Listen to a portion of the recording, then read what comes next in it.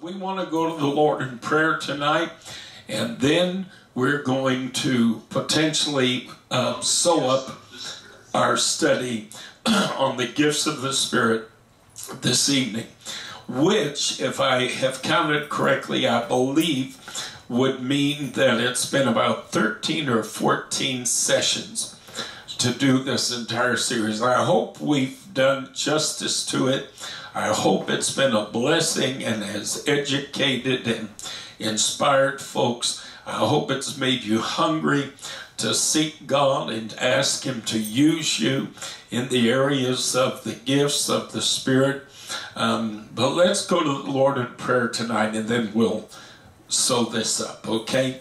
Master, we love you, God, and we thank you as always for every opportunity we have to come together as the people of God. We thank you, Lord, for the Word of God. Master, tonight, oh God, we always need the anointing, the presence of God. If we're to receive from your word that which you would have us to receive, we need the Spirit of God to anoint. Lord, allowing the hearer to know that that which they hear is not doctrines of men, it is not ideas contrived by councils, but it is in fact and indeed the word of the Lord. Master, touch our hearing, touch our hearts, cultivate the ground today in our minds and in our spirits, that we might receive the word of the Lord today with gladness. Help me, Lord, as the teacher to impart to those that listen the Word of God. Help us, Lord, today to say that which needs to be said, to remain silent where we ought to remain silent. Master, we ask all this today in none other than Jesus' wonderful, wonderful name. Amen. Praise God and amen. We, for the last few weeks, uh, we actually spent a good deal of time on the topic of prophecy. We talked about the, what prophecy is. Um, in a nutshell, it is proclaiming, declaring, thus saith the Lord. Speaking for God, excuse me, in the first person. And it is uh, probably the most valuable gift that is offered to the church, which is why the Apostle Paul said, that above all else we ought to desire and seek that the Lord might use us in prophecy. It is that important and that powerful a tool for God to communicate directly with His church. Uh, we've talked about uh, the nature of false prophecy. We have talked about the fact that prophecy is a gift that operates uh, in dual fashion. It is a gift that operates at times um, uh, as an occasional anointing or an occasional gift. In other words, the Lord occasionally can touch someone and cause them to prophesy. But then, by the same token, prophecy is the only gift that also can be uh, imparted with an office so that an individual actually possesses a prophetic ministry uh, that makes them technically a prophet. Okay? Um, I hate titles. I, I, have no use in the universe for titles. So um, when I tell people the Lord called me to a prophetic ministry, uh, that is exactly what I mean. I, I, I have no use for titles at all titles, in my mind anyway, um, are used by people to elevate themselves and used by people to pad their egos and to, you know, kind of puff up their pride a little bit. I don't need a title to do that. God called me to do what I do, and I do what I do. Amen. And, uh, you know, I've gone into churches by the absolute dozens and dozens and dozens and preached a message and had the pastor come after I was done and say, Surely God sent us a prophet tonight because this man's never met us. He doesn't know us. He doesn't know anything about our church. And yet he preached something that was uh, surgical, that was so necessary, not to the church in general so much as to our specific congregation. And the, the Lord has often used me to go in and literally perform spiritual surgery in churches. And and I'm doing I don't know a thing in the world about that church. And yet the Lord will give me a message. And in the process of delivering the message I'm saying things that the pastor later tells me brother you just have no idea in the universe. You everything you said it was like every word you spoke were things that this congregation specifically needed, absolutely needed to hear.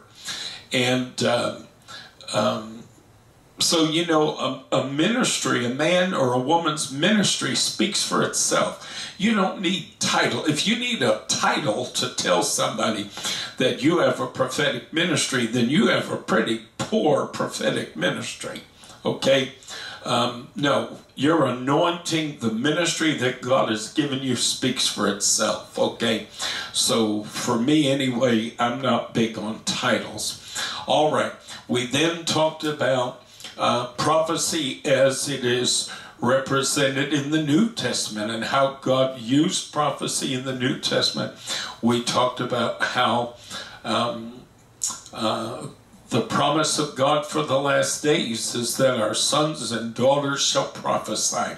So, you know, all of those things we covered in the last few weeks as part of this particular study. Tonight, we want to look in closing, we want to look at uh, the gifts of healings, okay? This is going to be the gift that we will sew up this study with we want to look at uh, the issue of healing. Uh, it is a gift that God has uh, imparted to the church.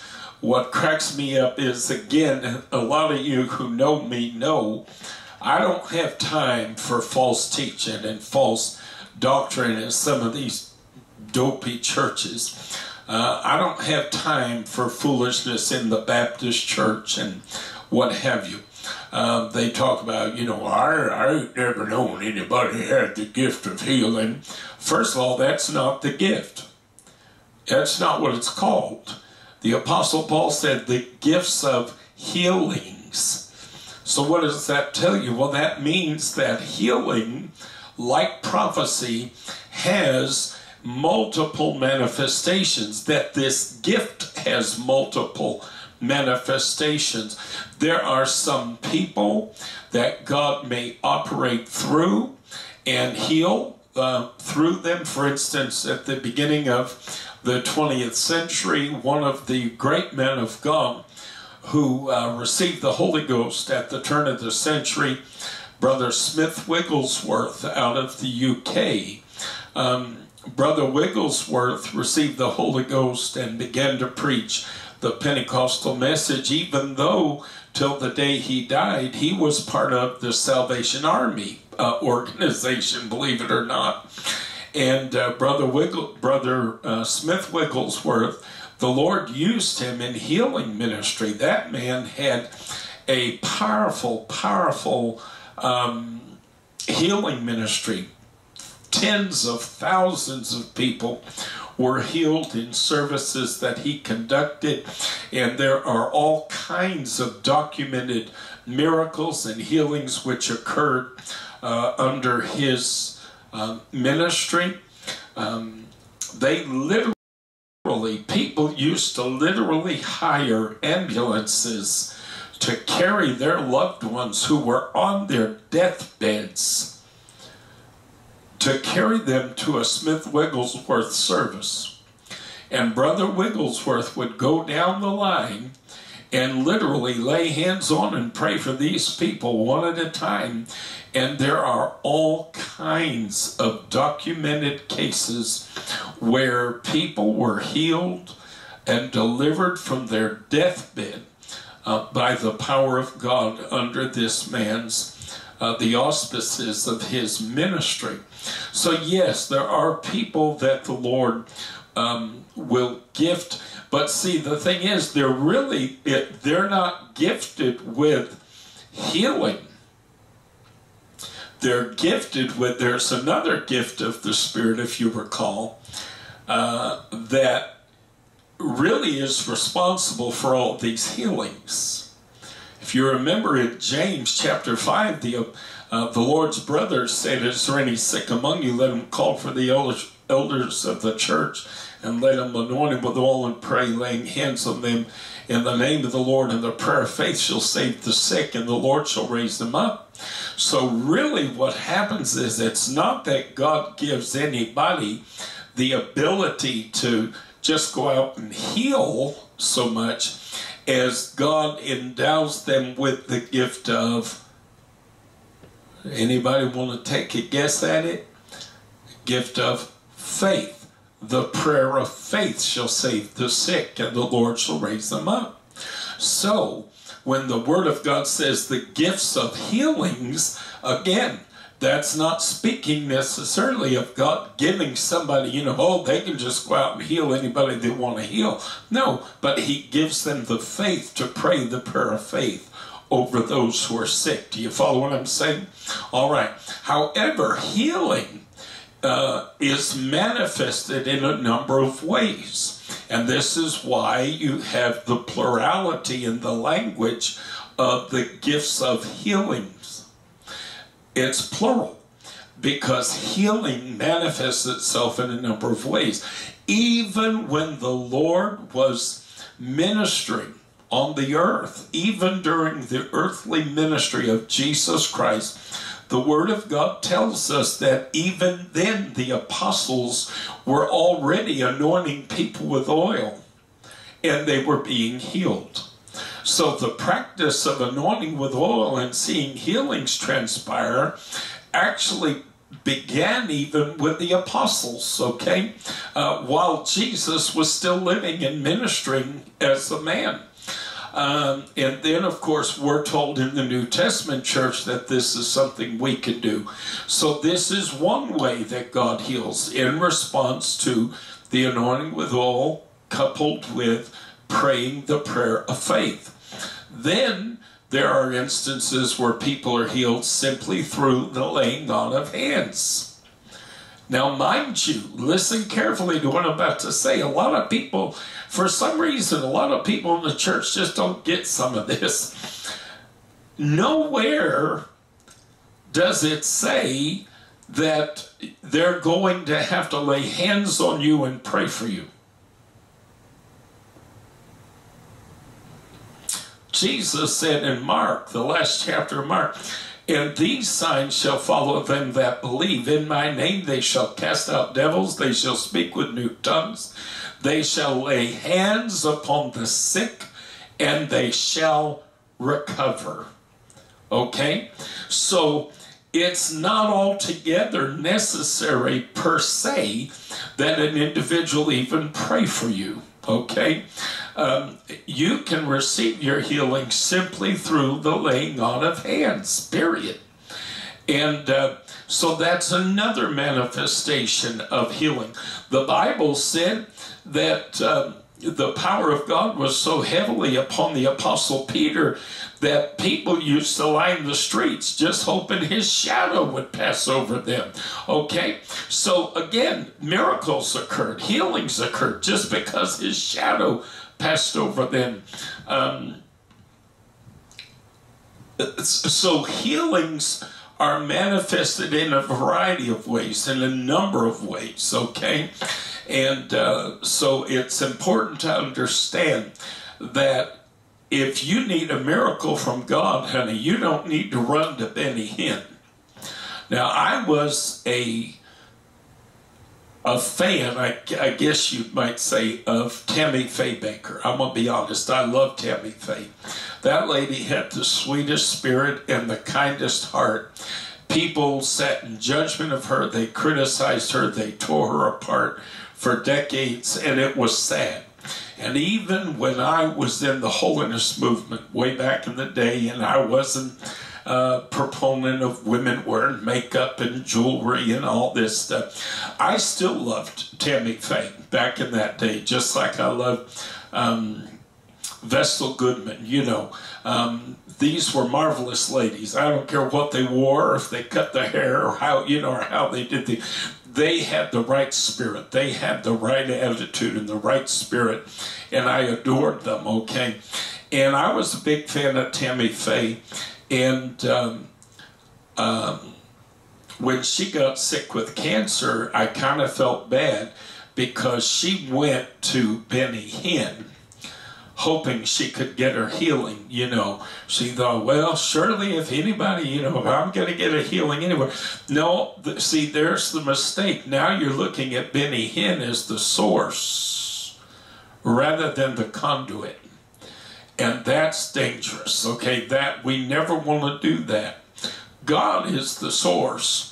I had a great aunt many years ago uh, I heard her tell this testimony. I heard my grandfather tell this testimony.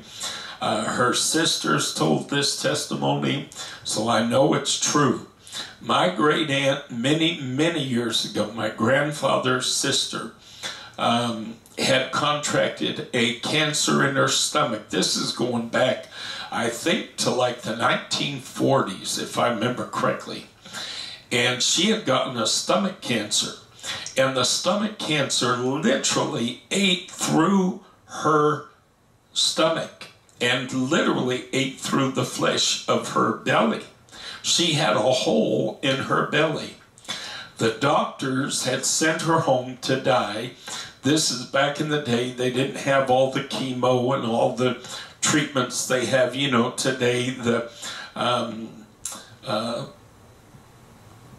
radiation and all those sorts of things. And the doctor had sent her home to die.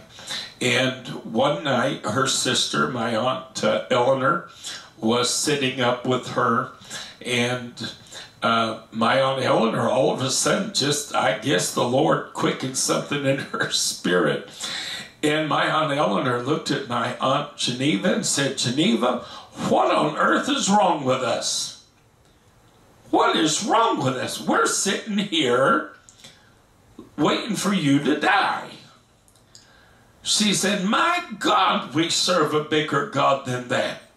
And she said, You know what? Get something on. Put something on. We're going to go down to that little Pentecostal church down the road.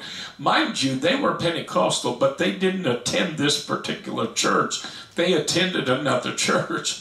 She said, We're going to go down, they're having church down the street. She said, We're going to go into that church and we're going to get you anointed with oil and prayed for. So my Aunt Geneva got dressed and they walked a couple of blocks to this little church and they went inside and they told the. And there wasn't but a, a few dozen people there. It was a small church. And they put my Aunt Geneva on the altar they sat her on the altar, they anointed her with oil, they laid hands on her and prayed for her. And the next morning, my Aunt Geneva woke up and she had to constantly change her dressing because her it would seep, you know, and it would just get all messy and she'd have to change the dressing. Well, she pulled the dressing off to change the dressing and her stomach was healed, literally healed overnight as if she had never had any kind of a sore there. And she called the doctor and told her doctor, I've been healed. And the doctor thought she'd lost her mind. He thought she finally flipped, that maybe the pressure of dying, you know, it kind of made her crack. So he told her, he said, Well, Geneva, if you've been healed, then why don't you come in and let me see, you know? And she said, Okay. Well, her husband was at work. So she walked to the doctor's office. It was like two miles. She walked to the doctor. And she walks in and the doctor looks at her side it's completely healed up and he was mind blown had no clue what to do or what to think uh, this in, in response to Oral Roberts, who was active back then in ministry, you know, his big healing ministry. No, this was a little tiny Pentecostal church that these ladies didn't even attend. But they knew how to pray the prayer of faith. My grandfather, when I was growing up as a kid, my grandfather, my mother's dad, bless his heart, I'm telling you, God healed that man so many times. The Lord healed him many, many times. And my grandfather loved to share the testimonies of his healings. He loved to tell the stories, and he'd tell them so many times. And as a kid, sometimes you know you kind of roll your eyes, and I'd look at Grandma, she look at me, she kind of roll her eyes like, "Oh Lord, here we go again." But you know, I've said it before, and I'll say it again. I am so grateful. My grandfather told me those stories so many times, because now if I live to be a thousand, I'll never forget those stories word for word because I heard them so many times. But my grandfather was out trying to chop down a tree one time, and he was uh, using an axe, a sharp axe, and he accidentally, something happened, and the axe head went right through his knee cap and tore his leg all up and he wound up they went took him to the hospital everything of course they had to uh, you know, do all kind of wrapping it up in splints and everything else, and probably they figured he was going to need surgery and all this other stuff. But again, this is going back to like the 50s or something, and. Uh, my grandfather adored a preacher that you've heard me talk about a lot if you know anything about our ministry, uh, Brother Tatlock, Warren Tatlock and Brother Tatlock pastored a church up the road, uh, a few towns from where my grandparents lived, and they attended it for quite a quite a while. Uh, but then they started going to a church a little bit closer to their house at one point um, because Brother Tatlock's church was up the road quite a ways. And anyway, my grandfather had been to the shop doctor and the, showed the shop doctor what had happened, you know. And the shop doctor told him, said, Don, you're you're going to be out of work for months, man.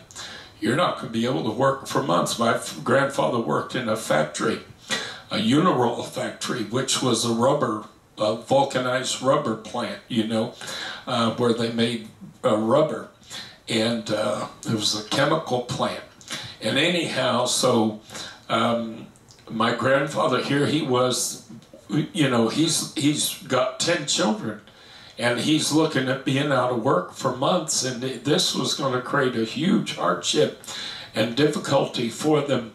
And so he asked a neighbor, uh, a man named Royal uh, Murdoch, uh, and he asked Royal, he said, Royal, by any chance, could you drive me over to uh, Brother Tatlock's house in, in Wolcott? And uh, the neighbor said, well, sure, Don, I'll take you up there. So Royal Murdoch drove my grandfather up there and they knocked on the door and it was kind of getting a little late. It was like 8 o'clock or 8.30 in the evening and brother and sister Tatlock were actually kind of getting ready for bed. And they used to have a little tradition where they would sit and have tea and uh, cookies before they'd go to bed. They'd always kind of have this little snack, you know, tea and cookies. These folks were from Canada, and uh, people from Maine and Canada, if you're from that part of the world, you kind of understand these little traditions because it warms you up and gets you ready for a cold night, you know. And anyhow, uh, Sister Tatlock, bless her heart, she had her hair in curlers or whatever and had a the thing over it, you know, and uh, wearing a robe, and you know, and Brother Tatlock's the same way. And they invited my grandpa and Royal in, and they come in, and they all sit there, and they're having uh, tea and and uh, cookies. And uh, my grandfather said that he told you know Brother Tatlock what had happened, and he said, "I'm hoping you'll pray for me," you know. Well, anyway, they were sitting there talking and just talking, and all of a sudden he, said all of a sudden Brother Tatlock just reached over and grabbed hold of whoa, grabbed hold of my grandfather's knee. And he said something so simple. He said, Lord, this man's got a family to support. He said he can't have this knee like this. He said, Jesus, heal him, God, right now, in Jesus' name. And my grandfather said, when Brother Tatlock said that, he said he pulled his knee up, bent it, he said, and pulled my legs up. He said, and I pushed up under the table, and we sat there and we finished our visit. And he said the next day I went back to the shop doctor and I told the shop doctor, You're not going to believe this when you see this. And the shop doctor said, What is it? He said, uh, God healed me. The Lord healed me. And uh, of course, the shop doctor, you know, after seeing the extent of his injury, he said, Oh, really? You know, and he looked at it, he examined it, he said, My God, Don, I've never seen anything like it in my life. He had been completely healed in a matter of seconds, just like that. Was it some big name preacher, Oral Roberts? Was it, you know, was it Benny Hinn? Was it one of these quacks on television who make a dog and pony show out of things like this? No. It was a little old preacher who pastored a church with 120, 130 people. But Brother Tatlock had faith. Man, I'll tell you one thing that man was a man of faith. So the point I'm trying to make is, you know, healing manifests itself in a variety of ways, okay? And so the gift is not so much something that God gives to individuals where healing is concerned. No, the gift is the healings. That's the gift, okay? Um, so it's not a matter of uh, somebody having the gift of healing so much as us receiving a gift of healing. Okay? And uh, there are many examples, obviously, throughout the Word of God of uh, the gifts of healing and operation in the New Testament church. Now, I'm talking about post Jesus. In other words, I'm not talking about miracles that occurred um, by the the Lord healing people. No, no, no. I'm talking about miracles that occurred after the Lord had ascended and God was healing through the church. He said in Mark, you know, these signs shall follow them. And there are a number of examples. There is the lame beggar who was healed in Acts 3, verses 1 through 10. And uh, me see here. Now Peter and John were going up to the temple at the hour of prayer, the ninth hour, and a man lame from birth was being carried, whom they laid daily at the gate of the temple that is called the beautiful gate to ask alms of those entering the temple. Seeing Peter and John about to go into the temple, he asked to receive alms, and Peter directed his gaze at him, as did John, and said, Look at us. And he fixed his attention on them, expecting to receive something from them. but Peter said, I have no silver and gold, but what I do have I give to you. In the name of Jesus Christ of Nazareth, rise up and walk.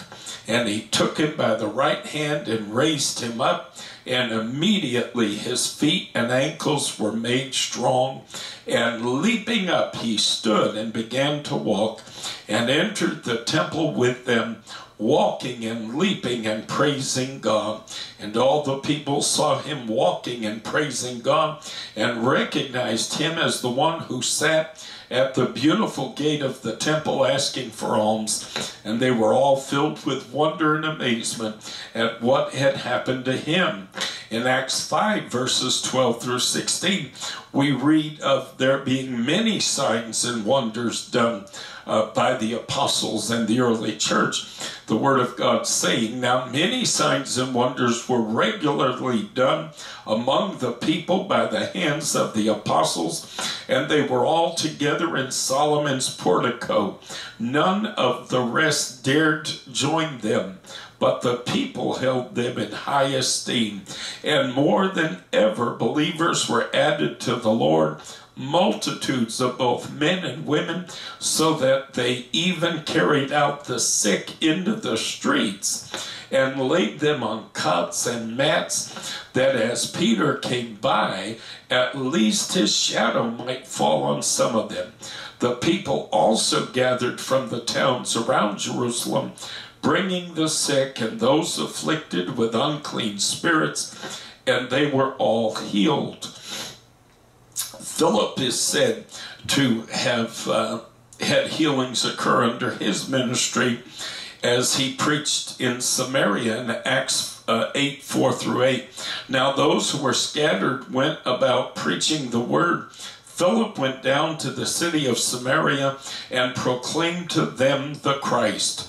And the crowds, with one accord, paid attention to what was being said by Philip when they heard him and saw the signs that he did. For unclean spirits, crying out with a loud voice, came out of many who had them, and many who were paralyzed or lame were healed. So there was much joy in that city when uh, the apostle Paul, who was known as Saul, was converted. He needed a healing because he was struck blind in Acts 9 17 through 19. So Ananias departed and entered the house, and laying his hands on him, he said, Brother Saul, the Lord Jesus, who appeared to you on the road by which you came, has sent me so that you may regain your sight and be filled with the Holy Spirit. And immediately something like scales fell from his eyes, and he regained his sight. Then he rose and was baptized, and taking food, he was strengthened. Okay, now mind you, in that instance, did Ananias pray? No. He laid hands on Paul, Saul, and made a declaration. He said, Jesus, who you met on the road to Damascus, sent me here that you might regain your sight and be filled with the Holy Ghost. That's what he said. That's not a prayer. Ain't no prayer in that. No, but he laid his hands on him and Paul, and immediately it said that as if scales, you know, had covered his eyes, his eye, his sight returned. There was the healing of uh, Aeneas in Acts 9, 32 through 35. Now as Peter went here and there among them all, he came down also to the saints who lived at Lydda. There he found a man named Aeneas, bedridden for eight years, who was paralyzed. And Peter said to him, Aeneas, Jesus Christ heals you. Rise and make your bed. Again, is there a prayer prayed here? No. And immediately he rose, and all the residents of Lydda and Sharon saw him, and they turned to the Lord. there was an incident at Lystra and the Apostle Paul again was touched by the Lord in Acts 14 8 through 10. Now at Lystra there was a man sitting who could not use his feet. Um, or I'm sorry, no, no, not Paul. Um, Paul was involved in the healing. Anyway, there was a man who could not use his feet. He was crippled from birth and had never walked. He listened to Paul speaking, and Paul, looking intently at him, and seeing that he had faith to be made well, said in a loud voice, Stand up right on your feet. And he sprang up and began walking. Was there a prayer prayed? No, there was not. Was there hands laid? No, there was not. So you see, this is why it says the gifts of healings, because healing comes in so many different forms, comes in so many different ways, okay? Uh, and the gift is the actual healing. Paul, this is what I was actually referring to a moment ago. I made a mistake. At Lystra, Paul was stoned, and uh, it was presumed they thought he was dead. Um, Acts 14, 19 through 23. But Jews came from Antioch and Iconium, and having persuaded the crowds, they stoned Paul and dragged him out of the city, supposing that he was dead. But when the disciples gathered about him, he rose up and entered the city, and on the next day he went on with Barnabas to Derbe. Um, so there again, they thought he was dead. They stoned him. They thought he was dead. They dragged him out to the outside of the city and left him for dead. The apostles, uh, excuse me, the believers got around him and prayed, and next thing you know, he's standing up. Now, I'm going to give you an example. This, I know for a fact, this happened in a church I used to preach in. Uh, friends of mine pastored a church in a little town called Shamrock, Texas and uh, brother and sister Bruce. And they had a man in their church who uh, fell to the floor dead. And sister Julie Maston, who is a uh, nurse and had been a nurse for many years, she of course went down and began to check his pulse and look. And she said she looked up Sister uh, Bruce and said, "My God, this man's dead." And uh, sister Sister Bruce, I tell you, I used to talk about I'm telling you, I've known some great people of faith in my life. And Sister Bruce said, let's get around him. And they got around. They didn't call for an ambulance. They didn't go immediately running for an ambulance. The church people got around him and they started to pray. And Sister Bruce leaned over and she grabbed him by the hand. She said, In the name of Jesus, get up. She said, All of a sudden, that guy leaped up to his feet. So, see, I'm telling you, folks, God's a healer, God's a miracle worker. This is what God wants to do in the church. This is what the Lord's wanted to do in the church since day one.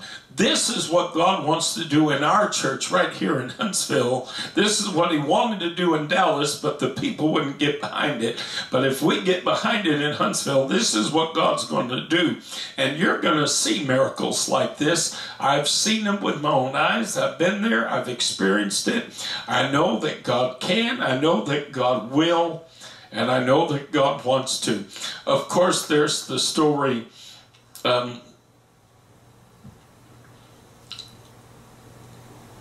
of the sons of Sceva in Acts 19 11 through 20. And God was doing extraordinary miracles by the hands of Paul, so that even handkerchiefs or aprons that had touched his skin were carried away to the sick, and their diseases left them and the evil spirits came out of them. Is this because Paul was so perfect and so holy that he could walk on water? No, no. This has to do with faith. This has to do with anointing. This has to do with relationship uh, with the Lord. And the power of God was so real in Paul's life that even something that touched him could be sent to the sick and they'd be healed. This is why we have the practice of what we refer to as uh, prayer cloths, okay? Uh, we'll take a, a, cloth and we'll anoint it with oil and we'll pray over it and we'll send it to the sick. Basically, it's based on this same principle of what um, they experienced with Paul. You know, they would just take something that uh, he had touched. We're just putting a little extra oomph behind it by praying over it. I was healed in 2000, supposed to die in a hospital. Uh, family was told I'd be dead inside 24 hours. And that went on for a month. I was supposed to be dead within 24 hours. A church pastored by an LGBT preacher like myself, a good friend of mine, a wonderful fellow, Brother Ronnie Pig. Uh, Brother Ronnie and his church prayed over a hanky. They anointed it with oil. They sent it to me overnight via Federal Express. And when I received it, I reached in the envelope. My mother had to open the envelope because I was too weak to open a Federal Express envelope. I was on, I was fully intubated, and I reached in, and I knew the minute I touched that cloth, I knew what it was. I said, "These people have sent a prayer cloth." And in my mind, I couldn't speak because I had tubes down my throat. But in my mind, I said, "Okay, Lord." These people believe in you for a miracle. If they're believing you for a miracle, I'm believing you for a miracle. I said, I'm not going to make you look like a liar. I said, uh, let's get it done. That was my exact thought. Let's get it done. The next day, I came off life support after being on life support for a month. I'm here to tell you, folks, God still performs miracles. Jesus still heals. And so, um, there's the example of Eutychus being raised from the dead in Acts chapter 20. verses 7 through 16. On the first day of the week, when we were gathered together to break bread, Paul talked with them, intending to depart on the next day. And he prolonged his speech until midnight. He was long winded. He went on and on and on. And there were many lamps in the upper room where they were gathered, and a young man named Eutychus, sitting at the window, sank into a deep sleep as Paul talked still longer. That ought to teach some of y'all not to go to sleep while the preacher's preaching, all right? And uh, and being overcome by sleep, he fell down from the third story and was taken up dead. But Paul went down and bent over him, and taking him in his arms, said, Do not be alarmed, for his life is in him. And when Paul had gone up and had broken bread and eaten, he conversed with them a long while until daybreak, and so departed. And they took the youth away alive and were not a little comforted. So uh, Paul said to them, Don't worry, he's going to be all right. So they left the kid, and lo and behold, he, he was alive. He was still well. All right, Paul at Malta in Acts 28 1 through 9. Uh, there was um, the incident of Paul being uh, struck by a serpent.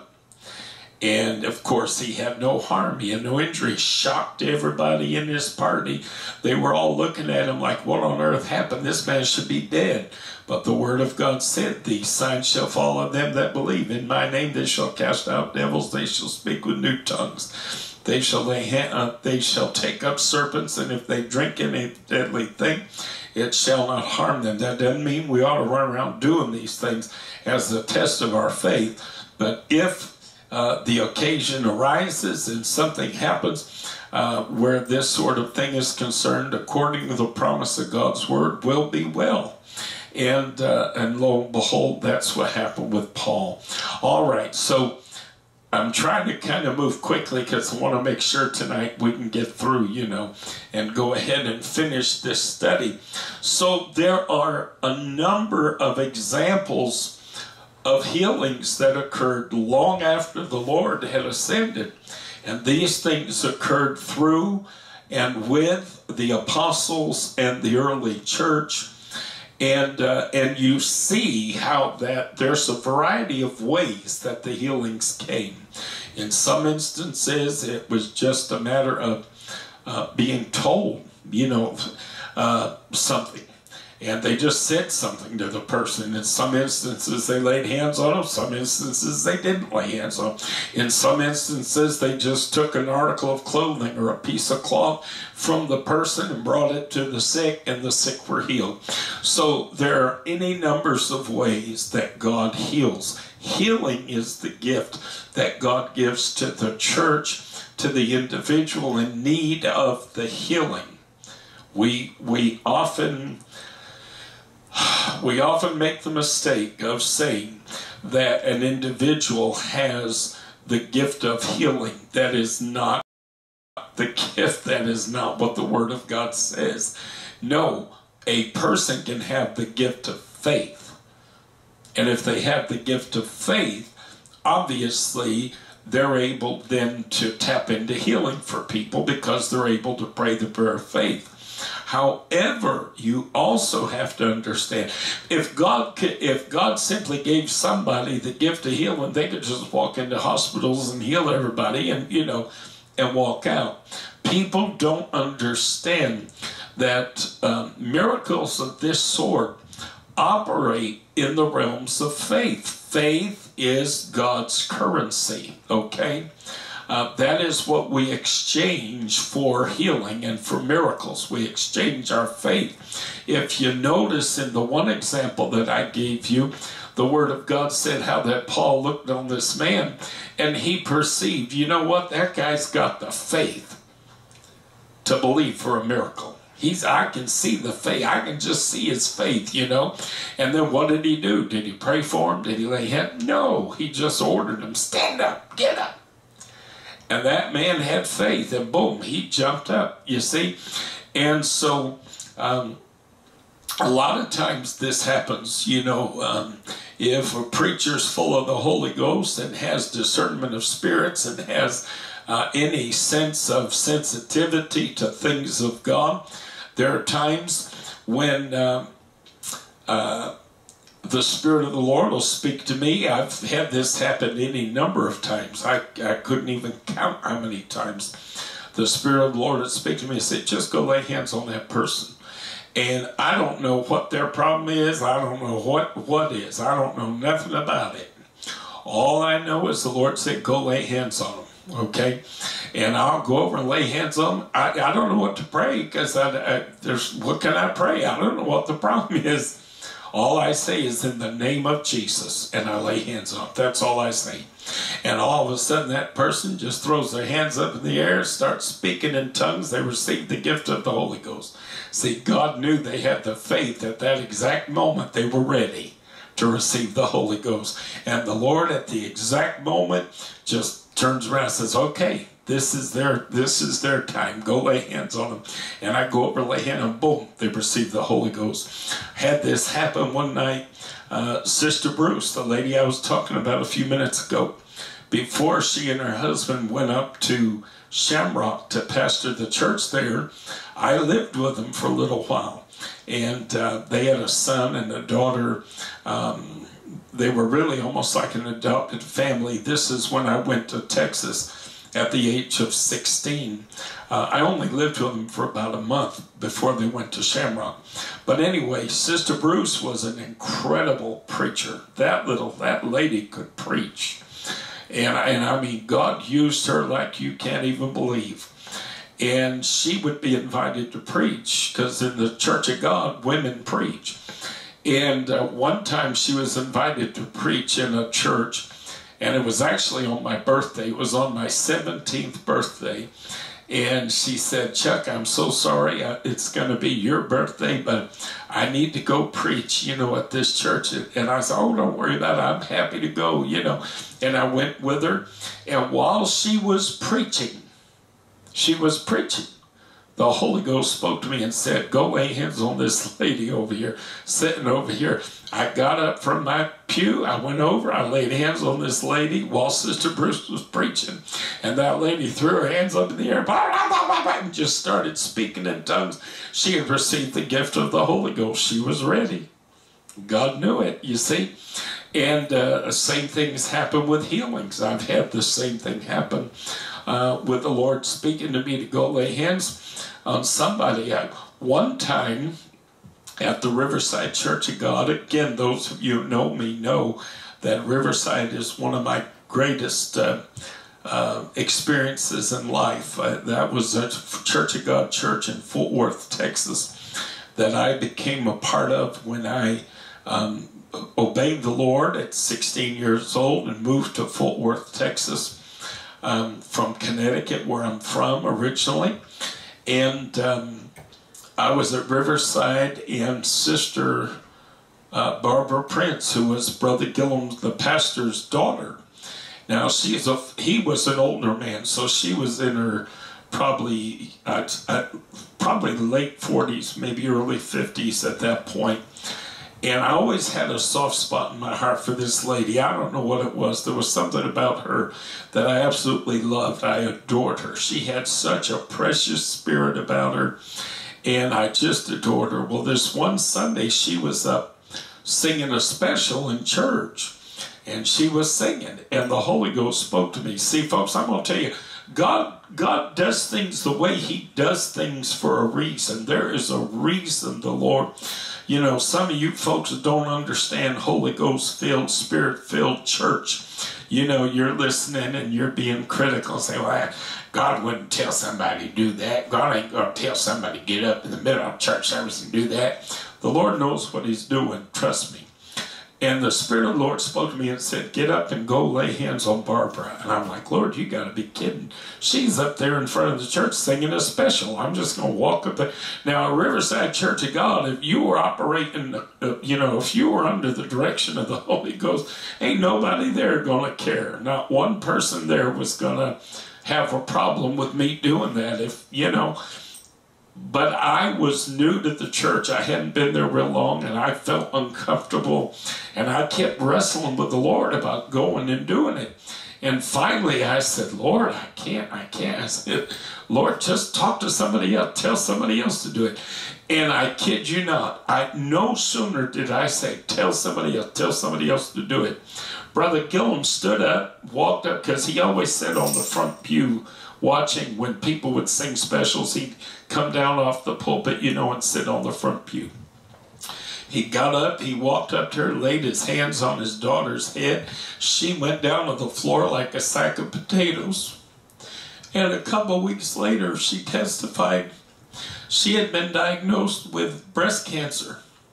Sister Gillum had been di- her mother had been diagnosed way back in the 40s or 50s with breast cancer and God healed her way back then. But Barbara had been diagnosed with breast cancer and they were wanting to do a radical mastectomy. And she said, I hadn't even told my parents. I hadn't told my mother. She said, knowing what my mother went through years ago, and of course the Lord healed her, but I, she said, I, I was just not ready to tell them yet um, because I didn't want to worry him and everything, you know. She said, and then lo and behold, she said, Dad got up and come up while I was singing and laid hands on me. She said, well, I went back to the doctor. They they were trying to chart everything so they could go in and do the surgery, she said they couldn't find it. It was gone. It was completely removed from her body. She said there was no scar tissue. There was no evidence that it had ever been there. And everybody in the church saw Brother Gillum go up and lay hands on her without even knowing. Do you follow what I'm saying? You see why God wanted to do it that way? because that way you knew it was God. You knew God had performed a miracle, that He was operating in a sovereign manner, you know.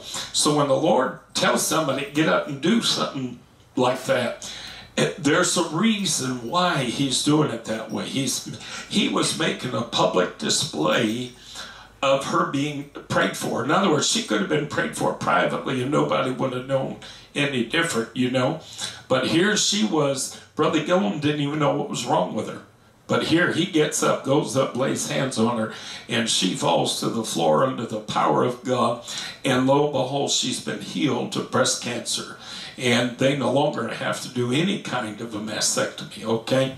So, um, I've seen folks, I'm telling you, I've seen so many healings. If I were to try to stand here and, and share um, testimonies of healings. I'd be talking all day and all night till a month from Tuesday. And I mean literally, I would. I've seen God heal people. I've seen people stand up out of wheelchairs who couldn't walk.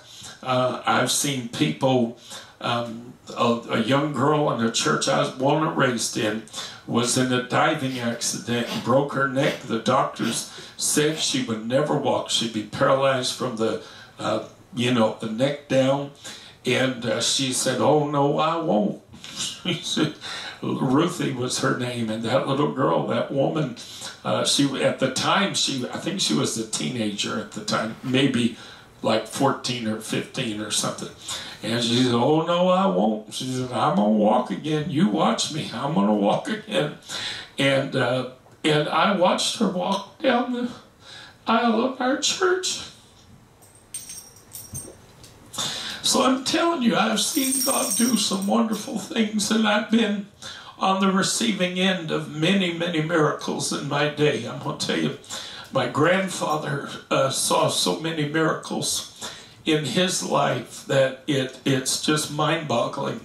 And uh, I, I got to share this one little story talking about the Holy Ghost just again.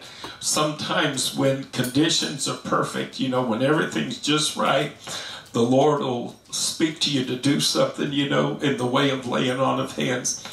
I was pastoring my first church many moons ago. This is back in like 84, 84, 1984. Yeah, I've been at it that long. And uh, uh, we were having a Bible study and a prayer meeting night, which was Tuesday night. And then on Thursday night, we used to have church. We used to have an evangelistic service on Thursday. We did Bible study and prayer meeting on Tuesday. Nowadays, we can't even get people to go to one service on Sunday and one service in the middle of the week. But back then, we did Tuesday night, Thursday night. We had Sunday school. We had church twice on Sunday, morning and evening. But anyway, it was Tuesday night Bible study prayer meeting. And there was a lady who had come to the church with a friend of hers asking for prayer. She needed not only healing in her body, but she needed deliverance from demonic oppression. And I laid hands on her, and the Lord slayed her, just laid her out on the floor. And the power of God was moving, and our people were in the altars, you know, praying. They originally had come down to help me pray for this lady, you know, but um, but the Lord laid her out, boy, and I mean, the people just prayed. I mean, there was such a spirit of intercession going, you know. And this one man in the church named Tom, as a matter of fact, he kind of fell to his knees, just literally just fell to his knees. And we had a cement uh, floor, just a, a, what do you call? You build a house on a slab.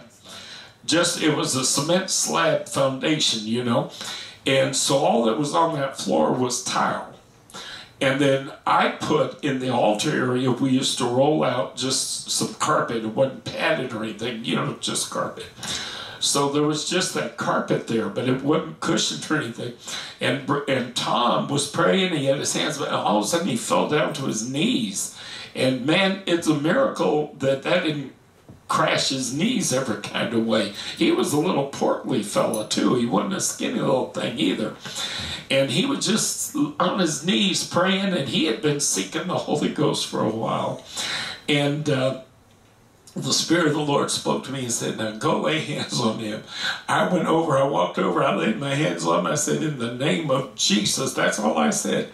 And all of a sudden, that man's legs shot out underneath him, and he literally went, I mean, flying like something hit him like somebody whacked him with a bowling ball, and he went flying up in there. His, his legs went out from underneath him, and he was laying flat on his back, and he was speaking with other tongues as the Spirit of God gave him the utterance. He received the Holy Ghost that night. So there, there's incidences where uh, if somebody is ready for a healing, you know, Paul looked at this man and he saw that he had the faith to be healed. Well, sometimes the Lord knows, okay, this person has the faith to be healed.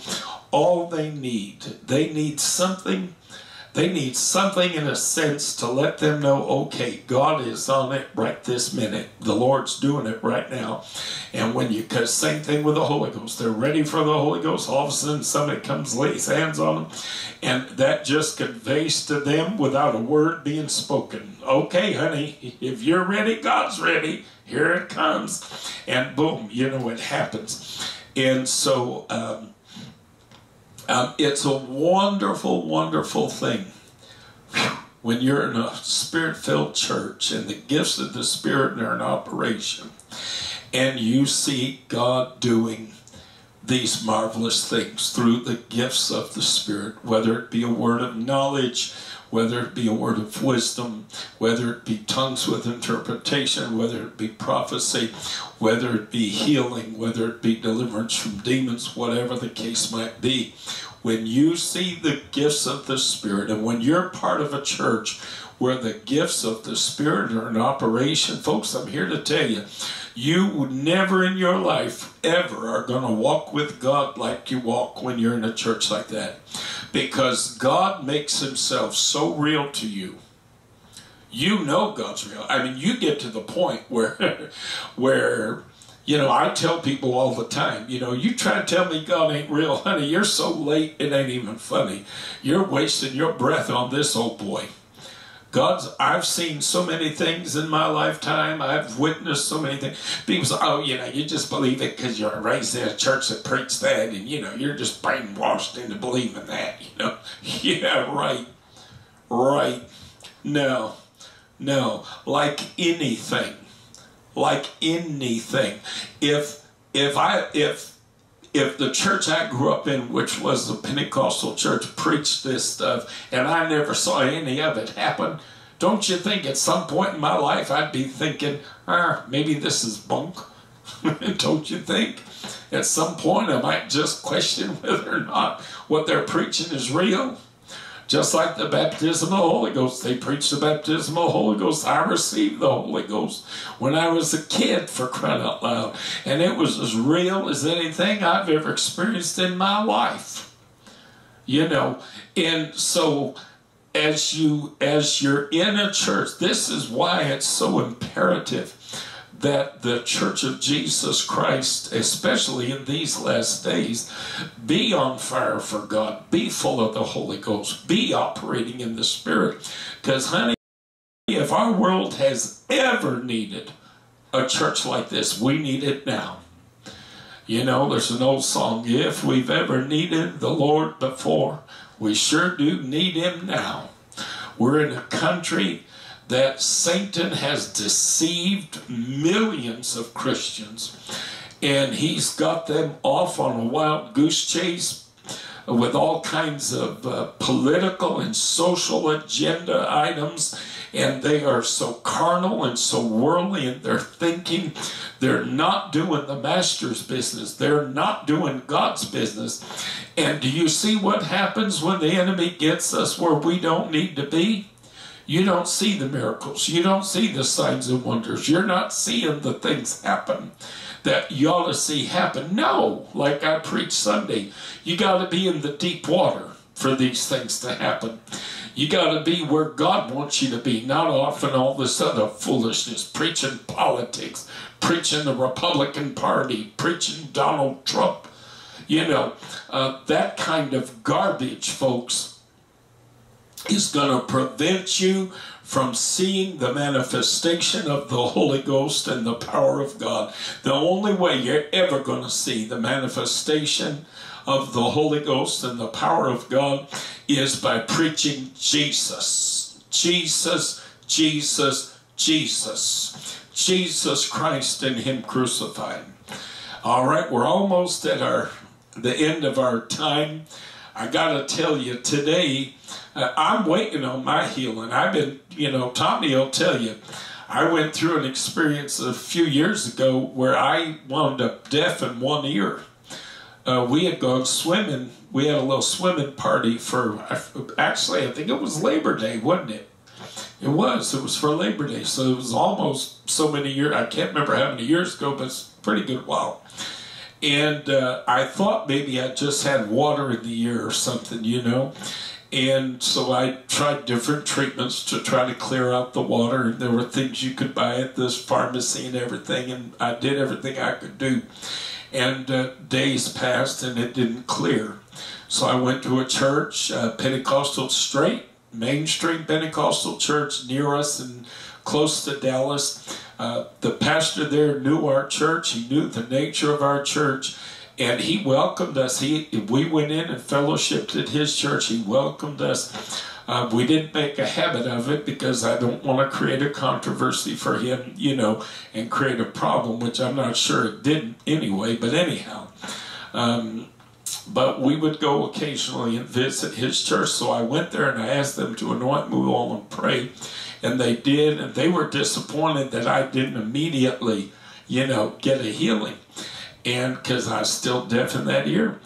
And uh, I, t- I told them, I said, no, no, no, no, no, we've done our part. I said, now all we got to do is wait on God.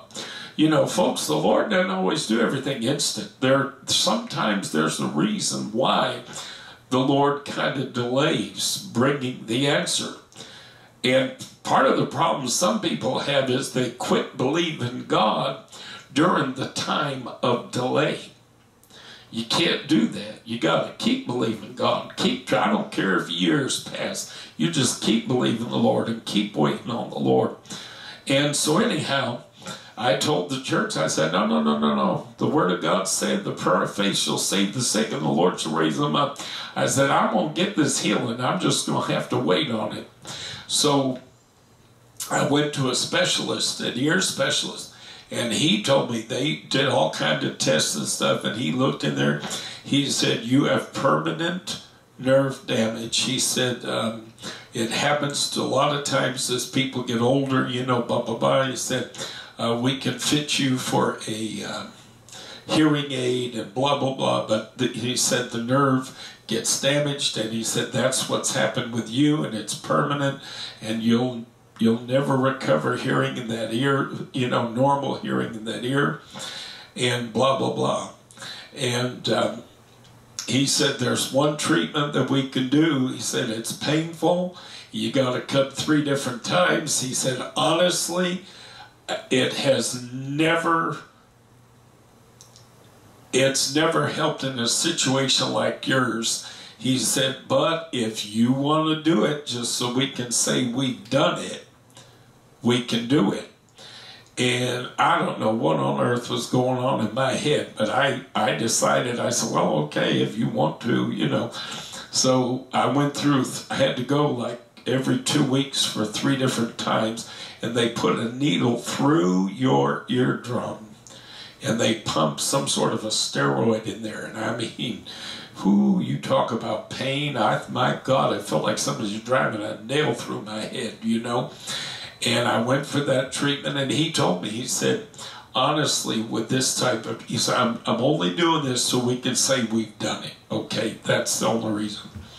And anyway, he did that and everything, and then. Um, time passed and you know I had to go back and see him after a certain amount of time and everything.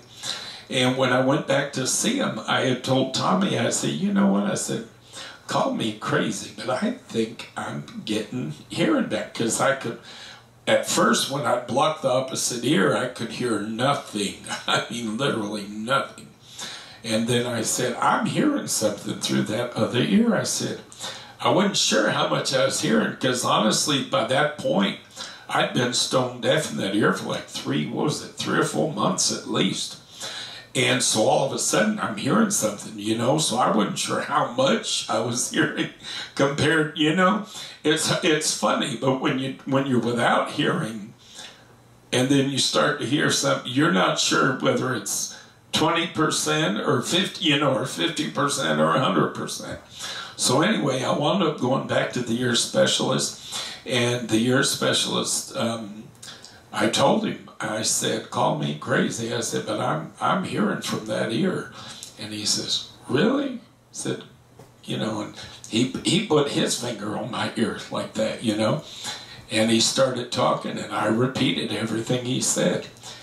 And he said, you know what? Said, I'm on, I'm on, you're going to go do a hearing test. Said, I want to have you do a hearing test. So I had to go to this little booth, you know, and they play different tones, and you sit there for a while and you listen, and you, you know.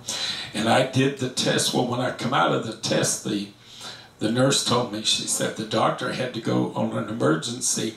She said, so he's not going to be able to go over your results uh, with you. She said, but he'll call you and let you know what the results were. Well, he did call later, but I wasn't able to answer the phone at the moment. And he left a message that I played in our church at the time in Dallas. I played the message over the loudspeaker, the PA, and he literally said, Well, hello there, Superman. said, You're not going to believe this. He said, You are at 90, what was it 96% or 97% hearing in that ear. 97% restoration, folks. And uh, he said, I can't tell you how it happened. I can't tell you what happened. He said, but it, that is a miracle if I've ever seen a miracle. He was a Jewish doctor, too. So, you know, um, I, I've, I've seen any number of miracles in my day, and I thank God for that one because during the months that I was deaf in that ear, I'm telling you, preaching and singing in church and stuff was so difficult. Oh, it was, it's so hard to get used to being deaf in an ear. and I had to constantly try to turn a certain way where I could hear like the music playing, you know, so I could sing and everything. It was a nightmare, and um, oh, I kept praying. I said, "Lord, please, Jesus, I can't, I can't live like this. This is horrible." And but God touched me and He healed me. And I've seen so many, many, many miracles in my day. And uh, if you're going to try to tell me God ain't real, well, you're a little too late. No. Uh, he said that he would reveal himself to us. And as you come into relationship with the Lord Jesus Christ, especially if you're part of a good Holy Ghost filled, signs following, uh, gift operating church, I'm going to tell you something. God will make himself so real to you that no matter what struggle or trial you go through, you know, we all struggle with our faith at times. The enemy loves to convince us that, yeah, God's done this, God's done that, God's done, but He's not wanting to do this for you now. You know, this particular circumstance, He don't want to help you now. The enemy loves to come against our faith, and uh, that's part of why we go to church and we hear the preached word of God and this sort of thing. Because a lot of times in the process of doing that, we put this, we put the enemy in his place we get encouraged, you know, in our faith. And we say, all right, devil, you know what? Don't tell me God don't want to help me now. I believe he does want to help me, you know. He's not waiting on me to be perfect. He's not waiting on me to be sinless. He's not waiting on me to be able to walk on water before he'll help me in my current circumstance. And again, if the gifts are operating and everything, you may be the recipient of that miracle when somebody just comes over and lays hands on you, doesn't know nothing about nothing. And God says, All right, I'm ready now. I see you've got the faith, so I'm ready now. Praise God. Well, we are at the 8:30 mark. I told you we were going to try to um, close up our Bible studies from now on by 8:30 uh, we have completed our study of the gifts of the Spirit. So now I'm going to have to do some praying and ask the Lord to give me some direction as to what we're going to study next, you know, starting next Wednesday. I hope that these Bible studies have genuinely been a blessing and a help to you. I hope you're walking away with some inspiration if you're struggling with something. I hope that you have hope. Um, I hope that you're believing God and you're expecting a miracle. Uh, expect a miracle. Miracles happen. I expect. I go to church every Sunday expecting uh, a church full of people to show up.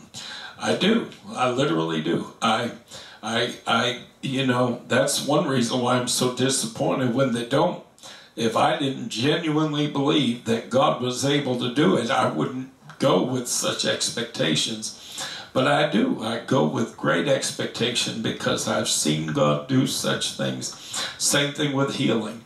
I've got issues that I've been dealing with that are causing me a lot of consternation and a lot of aggravation right now.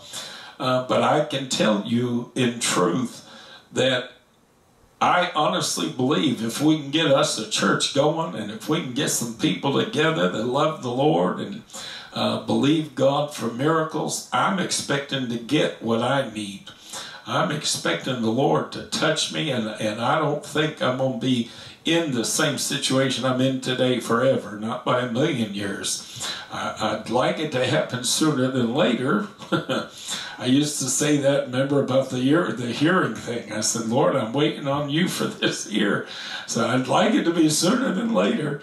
But uh, he wanted to confound some doctors. He wanted to shock some scientists. Um, and that's why he waited in that instance And sometimes that's why he does it, folks. He, he wants he wants people to know for an absolute fact that he's done something miraculous. When they've done everything science can do and nothing improves, and then all of a sudden he just steps in and does something. Um, I've seen, let me tell you, I've had doctors, you can't believe how many times I've looked at a doctor and had a doctor look at me literally and say, I can't even begin to tell you what's happened. I can't even begin to explain what's going on. Uh, but it's because I serve a miracle working God. Let's go to the Lord in prayer as we close tonight. Master, once again, God, we love you. We thank you for the word of the Lord. We thank you, Lord, for the gifts of healings which you bestow upon the people of God. We thank you, Lord, that on the cross of Calvary you provided for our sin and for our offense toward you so that we might have eternal life. But, Master, according to the word of the Lord, by your stripes we are healed. And, Master, today we thank you for healing. We thank you, God, for the many, many times that you've touched our family members, our friends, our fellow church members, and even our own bodies. We give you glory always, Master. We share the testimonies so that you might be glorified in these things. Lord, you know our hearts today. You know, God, that uh, we've come to Huntsville. We have come with a heart that is hungry and a deep desire to see a powerful, powerful, not a not some religious uh, church that plays church, but a powerful Holy Ghost empowered, spirit filled, gift endowed church that is going to lift up the name of Jesus and cause people who sit in judgment, who criticize and condemn LGBT people, Lord, we want to be able to serve as an example, Lord, that you indeed do love and care about and respond to the prayers of all sincere believers, whatever their life situation, whatever their circumstance, whoever they may be. Because, Master, you operate in the realms of faith, and your grace is great enough to cover every individual on this planet. And it isn't grace that merely gets us to the altar, but Lord, it's grace that's going to take us all the way home. Oh, Master, today help us to meditate upon that which we've heard tonight, Lord. Let us just uh, enjoy the thoughts of healing and victory. Help us to enjoy today, Lord, the reality of the gifts of the Spirit and help us to look forward to the day when this community has an LGBT affirming, spirit filled church that is so empowered of the Holy Ghost that it is blowing the minds of those who sit in judgment and criticize. Help us to do the work, Lord, for the Word of God declares, except the Lord build the house, they labor in vain that build it. Master, today in the name of Jesus, we ask all these things. Amen. Praise God and amen.